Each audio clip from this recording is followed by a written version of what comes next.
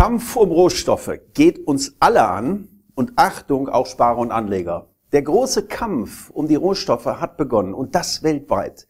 Denn der Krieg in der Ukraine hat uns nun mal leider, leider, leider in die Abhängigkeit von einigen wenigen Förderländern schonungslos doch aufgezeigt, wo die Reise hingehen kann.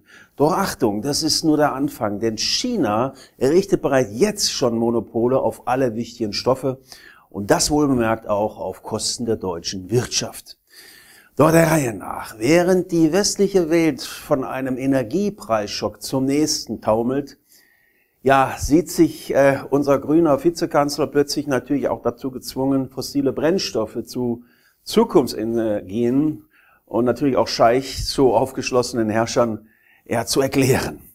Und das, obwohl seine eigene Partei noch vor wenigen Wochen das Land Katar wegen der problematischen Ansichten zu Menschenrechten und so weiter, Klimaschutz am liebsten, ja, doch gar nicht besucht hätte. Doch eine schlüssige Alternative zu diesem Vorhaben gibt es wohl auch nicht kurzfristig. Denn ansonsten gehen den deutschen Haushalten und natürlich vor allen Dingen auch vielen, vielen Unternehmen nun mal die wichtigsten Energiestoffe aus, mit erheblichen Konsequenzen auch für die Wirtschaft und uns alle. Denn das sind ja nicht nur Habeck, Putin und das Gas, sondern auch Volkswagen, BMW oder Daimler, die ihre Werke wegen des Mangels an Nickel derzeit ausbremsen müssen. Und weitet man den Blick von Deutschland auf die Welt, dann wird die Lage auch nicht unbedingt besser. In Afrika beispielsweise stellen sich viele Länder schon jetzt auf eine extreme Hungersnot ein, denn sie beziehen natürlich mehr als die Hälfte des Weizens, dessen Preis übrigens seit Jahresbeginn um satte 75 Prozent gestiegen ist, aus der Ukraine und natürlich auch aus Russland. Und auch die führenden Tech-Produzenten schauen sehr, sehr sorgenvoll nach China, das derzeit die Forderung ja, seltener Erden monopolisiert und dessen Beziehung zu Europa sich derzeit auch leider von Tag zu Tag eben nicht verbessert, sondern eher verschlechtert. Und all diese täglichen Turbulenzen werfen nun wirklich einen Blick auf die sehr, sehr ja, fragile Seite unserer heutigen Weltwirtschaft und die damit verbundene Versorgung auch mit wertvollen Rohstoffen. Es scheint schon fast so, als würde die Machtstrategie der Bündnispartner Russland und China die Rohstoffmärkte und damit auch die Weltwirtschaft nachhaltig verändern wollen.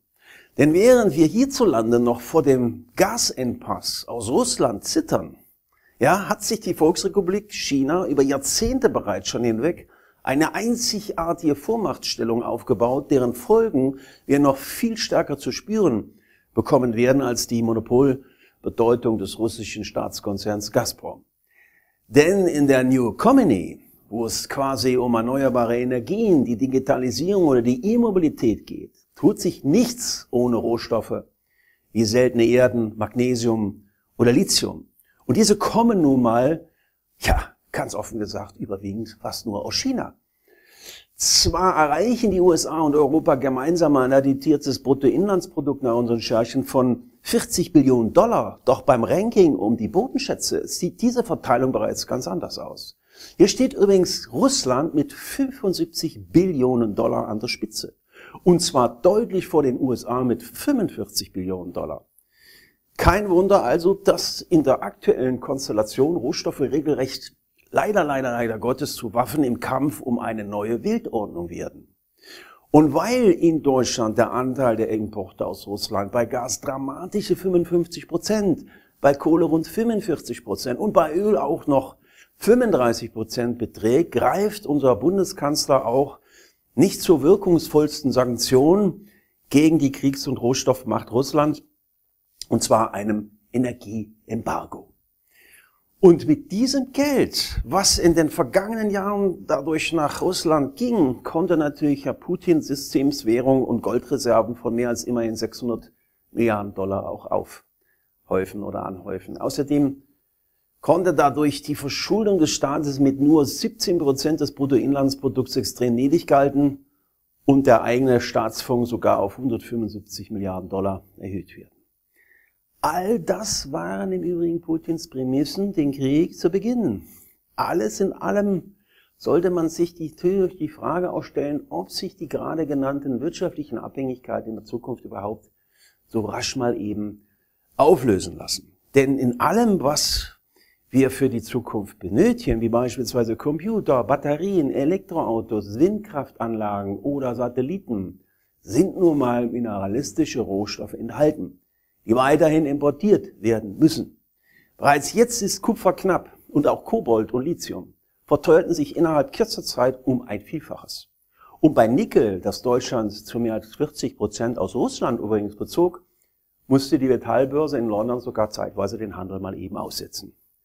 Durch solche Vorprodukte, ja, für den Bau von Batterien sind natürlich entscheidend für das Vorankommen äh, oder das Heranwachsen der Elektromobilität und damit natürlich auch der gewünschten grünen Revolution. Und der Zugang zu diesen Rohstoffen ist eben leider sehr, sehr knapp. Denn sonst wären die Marktreaktionen im Zuge des Krieges weitaus anders gelaufen. Oder ausgefallen, besser gesagt.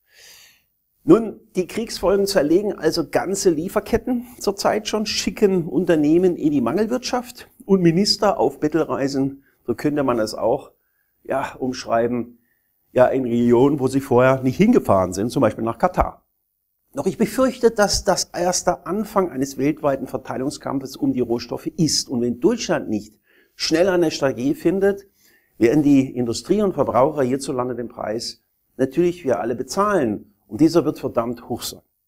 Welche weiteren wirtschaftlichen Folgen unsere Volkswirtschaft drohen, darüber habe ich ebenfalls erst vor einigen Tagen ein sehr spannendes Video auch auf diesem Kanal äh, veröffentlicht. Schauen Sie sich das Ihnen so unbedingt mal an. Und es ist entsprechend auch hier mit eingeblendet. Nun, im Dirien möchte ich alle Sparer und Anleger da draußen auffordern, sich dringend um ihren Vermögensaufbau und Vermögensschutz zu kümmern, denn Rohstoffe gehören übrigens auch in die Anlagestrategie von Sparern und Anlegern mit rein. Wenn Sie zum Beispiel ein Depot haben, im kleineren oder im größeren, dann schauen Sie auch dort mal rein, inwieweit Sie überhaupt da vertreten sind. Wer diesbezüglich Hilfe und Unterstützung braucht, was den Vermögensaufbau und Vermögensschutz belangt, der kann sich hier unter dem Video übrigens auch für ein kostenloses Erstgespräch eintragen. Viele nehmen das mittlerweile schon in Anspruch und bin mir sicher, dass wir auch Ihnen in Ihrem konkreten Fall durchweg die eine oder andere Hilfe mit meinem Team anbieten können. In dem Sinne schauen wir trotzdem nach vorne. Es bleibt gar keine andere Wahl und alles Gute, Ihr Klaus Röppel.